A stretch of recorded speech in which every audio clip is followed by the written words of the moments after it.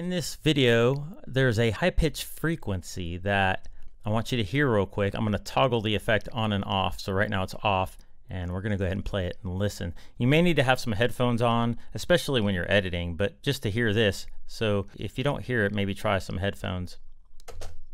They go to Mexico from Canada. There's five groups and they, one group comes across North Carolina. You used, at one time you could go.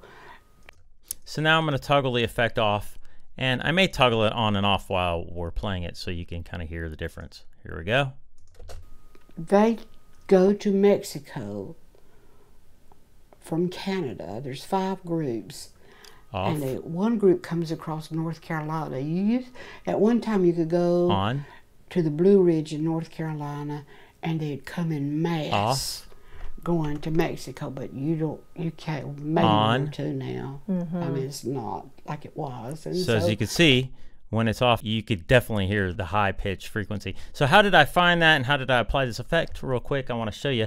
Right clicked it and said uh, edit and audition.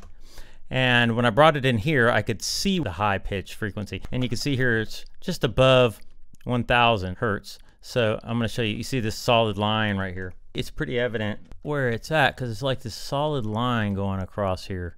So just to make sure that we're getting the right frequency, you can always just click and drag over that line, that horizontal wave, solid wave slice there, and then you could just play and you'll hear it. It's just a solid line that you going right here on that frequency.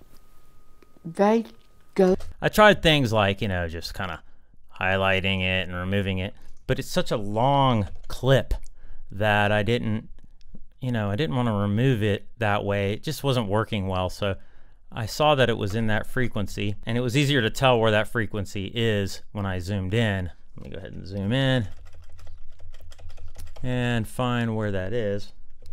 Oh, here we go. So as you can see, it's right about here and I just kind of guessed, you know, maybe 1200, 1300, whatever. And that's all I needed in Audition was just to kind of see where that frequency is. There may be a way to do it in Premiere, but I don't know. Anyway, then I went to Effects and searched Notch. I tried the simple notch, put in uh, 1200 hertz here, and that nailed it. Let's check it out again with the effect on. They go to Mexico. Off.